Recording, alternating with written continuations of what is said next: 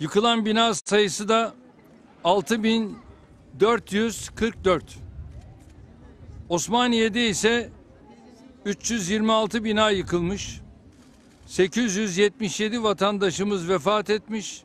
2220 vatandaşımız ise yaralanmıştır. Yaşadığımız felaketin derinden etkilediği 10 şehrimizin tamamındaki vatandaşlarımıza geçmiş olsun dileklerimi tekrar ifade etmek istiyorum. Hayatlarını kaybeden vatandaşlarımıza Allah'tan rahmet diliyorum. Yakınlarına başsağlığı, yaralılara ise acil şifalar temenni ediyorum. Devletimiz tüm bakanlıklarıyla, kurumlarıyla 10 vilayetimizde yoğun bir şekilde çalışmalarını sürdürmektedir. Milletimiz devletiyle omuz omuzadır. Sivil toplum kuruluşlarımız, belediyelerimiz, uluslararası yardım ekipleri, gönüllüler, velhasıl imkanı olan herkes arama kurtarma ve yardım çalışmalarına destek veriyor. Maruz kaldığımız felaketin çapı ve etkisi bu derece büyük olunca ister istemez bazı gecikmeler, eksiklikler de yaşanabiliyor. Vatandaşlarımız devletinin tüm imkanlarıyla deprem bölgesinde olduğunu biliyor. Doğrudan ve dolaylı katkılarıyla sayıları yüz binlerle ifade edilecek kişi yardım çalışmalarıyla ilgili süreçlerde görev aldı, görev alıyor. Ülkemizin dört bir yanından gereken her türlü ekip ve araç gereç bölgeye yönlendirilmiştir.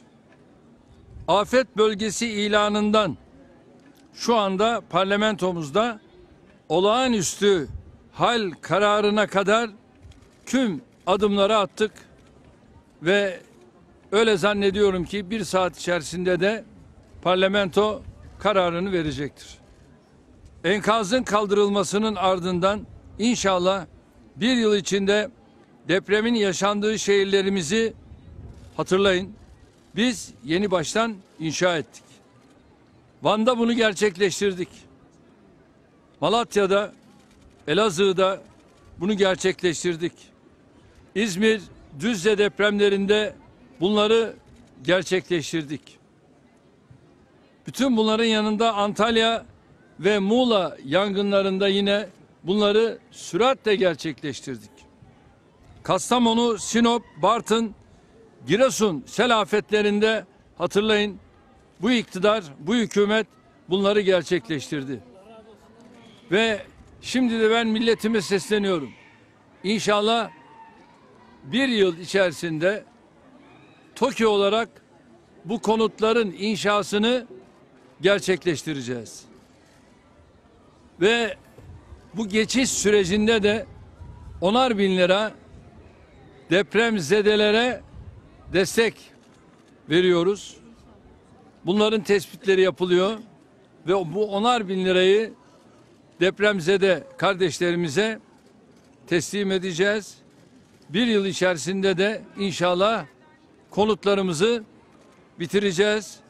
Tabii en önemli adımlardan bir tanesi de yine bu arada talep edenlere, kabul edenlere Antalya'da, Alanya'da buralardaki otellerde misafir etme imkanımız mevcuttur ve Türk Hava Yolları uçaklarıyla buralara seferleri düzenleyecektir. Bunlardan da özellikle sizleri bilgi sahibi yapayım istedim. Çok teşekkür ediyorum. Sağ olun, var olun.